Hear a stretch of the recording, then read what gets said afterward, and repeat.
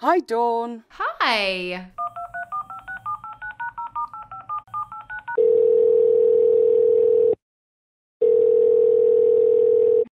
You're known for your love of vintage fashion. Would you say you're a serious collector, or do you just pick pieces that appeal to you and you know that you want to wear? I do think of vintage clothing as as collecting and I will splurge on something that is of value and whether it fits or not because I have this fantasy of myself as an old lady with an archive. Would you wear those pieces that you had invested in or do you keep them pristine? Oh, I do wear them if they fit. Some of them just don't fit, but I've got them because they're just so special. I think there's a real thrill to that form of shopping. I mean, the outnet is past season, so it's not necessarily officially vintage, but that same principle that, that you have found this special treasure. Exactly. I love that. And I think whether it was last season, two seasons ago, or 20 years ago, that feeling that you found something that isn't bang on trend or is slightly older, but that is brilliant. Your husband's um, an actor, and you often have to walk the red carpet.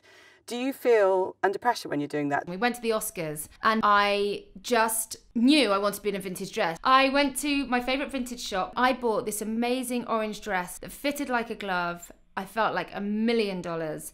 And that was me at the Oscars. Oh no, I was just having the best time. I drank all of the champagne, all of it. Did you have a period of youthful experimentation? And if you were to be able to look back on um, old photographs, would you cringe? Horrifying horrifying images exist out there. But I looked like I had just been like thrown into a secondhand shop and just kind of come out panting, covered in old rags. So, do you have a style icon or someone that you can think of who, in your eyes, always gets it right? I've got two. One of them is Mrs. Brody from Jaws. Oh my god, she's the queen of beachwear. She's everything to me. She's kind of my absolute style hero. Another one is she's probably around 70 or 80 now. Her name is Peggy Moffitt, and she was a huge 60s model out here in America. She did these amazing fashion shoots, these kooky um, fashion shoots where she would strike these bonkers poses in these mad psychedelic outfits. She's everything. How would you describe your personal style then? Would you say you're a maximalist? Definitely. I like to push boundaries with what I wear.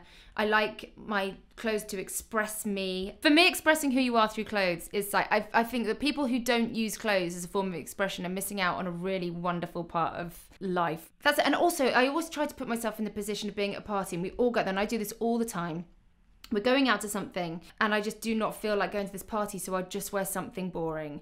And then I get to the party and I'm one glass of champagne in and I'm like, I wish I was wearing my orange chiffon. You know, find that confidence of how you know you'll feel when you get out the house. People are very accepting of what you wear if you're confident in it. Once my husband said to me, um, we weren't together, and he, he called me to say, Oh, I miss you. And I just want you to know that when I think of you, I just see you walking out the back door in chiffon holding two margaritas. And I was like, Baby, you know me so well. Thanks, Dawn, so much for all your sartorial advice. And I am definitely going to come and join you on the side of Technicolor. Yes, do. It's fun over here. Thanks so much. Bye, Dawn. Bye.